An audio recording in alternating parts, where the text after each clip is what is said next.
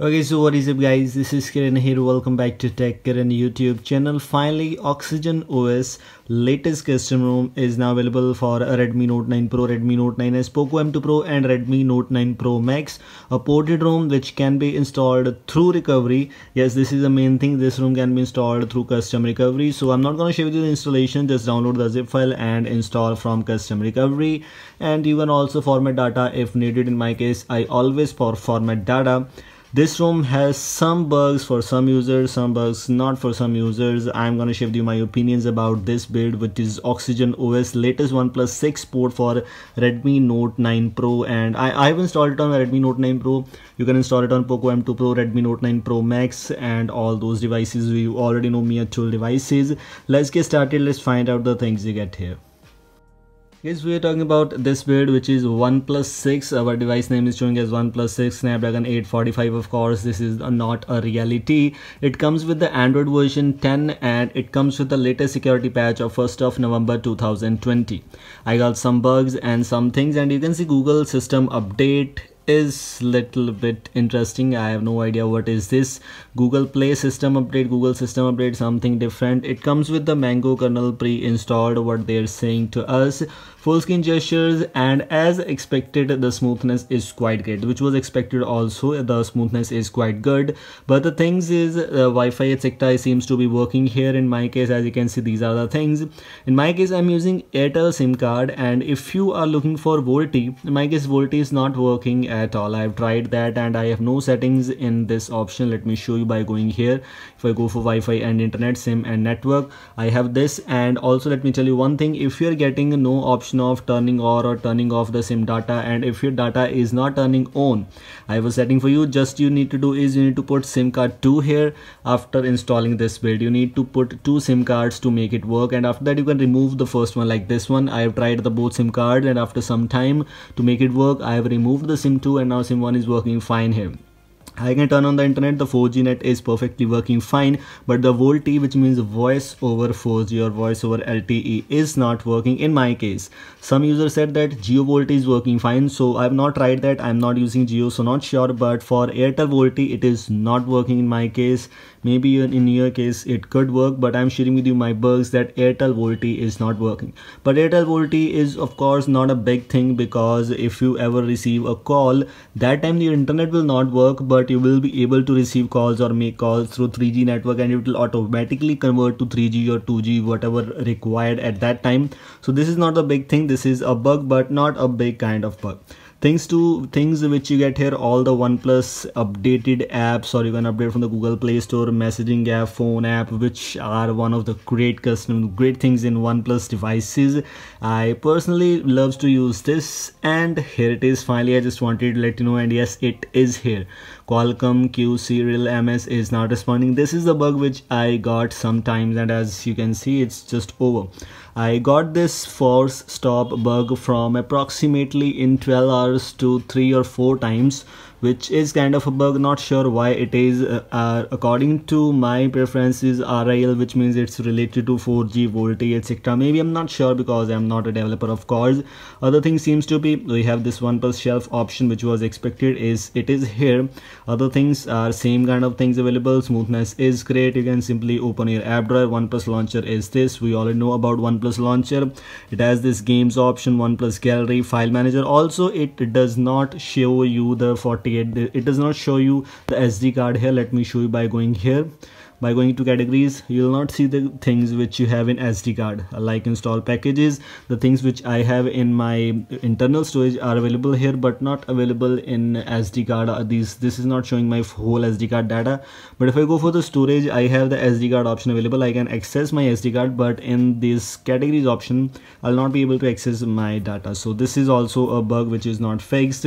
Also if you talk about the things yes the face lock is available which is not working which was not available which was not working working in, in Redmi Note 8 also. So kind of the same thing in this Redmi Note 9 Pro kind of the same thing you can see here face lock is available but that is not working so it's not recommended to use. Other thing seems to be same here. Also let me show you the camera. This is the default camera which you get here a OnePlus camera so this seems to be good but I've not tried all those things. Let's try out if everything seems to be working. Going for the portrait mode.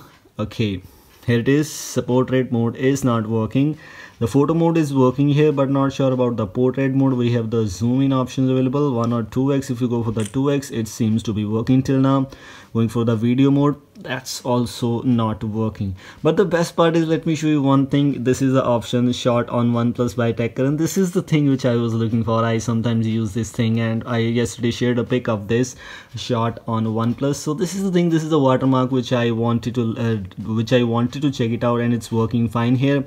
This is the pro mode which is not working. Almost everything seems to be broken here till now. Portrait and pro mode and time lapse panorama everything seems to be not working. Just a normal photo option is available. So you can simply normally capture photos and shot on OnePlus by Karan but nothing else is working here which is little bit of disappointing.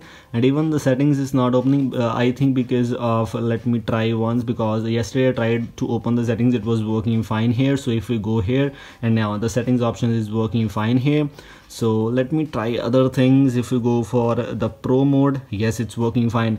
The ported was not working and after clicking on portrait anything was not working at all. So these are the some things which you get here and this is something interesting a pro mode which you can adjust. We have the panorama mode so which means yes everything seems to be working here. Sorry for that that i didn't test it that but it should work and these were the things i just wanted to let you know.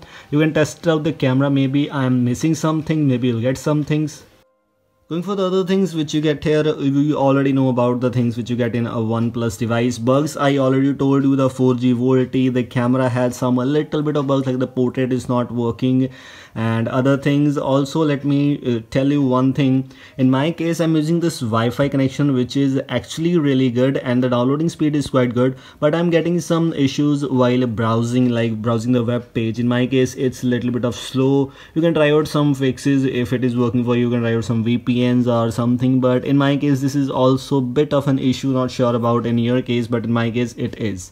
Talking about the magisk manager in my case magisk v20 1.1 i have installed and if you go for the safety net status i think so it's working fine. No it's not working fine. Attestation is failed here. And even i have tried the magisk hide props config but not sure i have tried to hide that. Yes it's hidden and magisk hide props config is also installed. Still the safety net status is not passed because of magisk 21.1 maybe if you try the magisk other version and after installing this maybe it will work. Not sure about that but safety net is not passing so will not be able to use the banking apps maybe. And if I go for the Google Play Store and if you go for the settings option here and yes as expected the device is not certified. So device is not certified safety status is not passing which means you will not be able to use the banking apps. Other thing seems to be working and same here talking about the battery stats in my case battery backup is okay okay not that much good not that much bad. It's kind of the same thing screen user since full charge three hours. Not from 100 percent it was from 69 percent approx. So it's just good it's not bad. Normal battery backup not, not saying that huge battery drainage but it's not like the previous one which i told you that i got approximately of 16 hours of screen on time. It's not like that one too face lock is also a bug and sd card reading is also a bug the bugs i already told you and talking about the features wi-fi internet bluetooth display etc Going for the display, we have the same kind of thing. Screen calibration includes the vivid, natural and advanced. By default, you will see at the vivid option, you will be able to use the natural one. Notch display, etc. is available here, but that is of no use for these devices. Blink light status bar. Also, have check it out. I checked something. Let me want to let me show you one thing.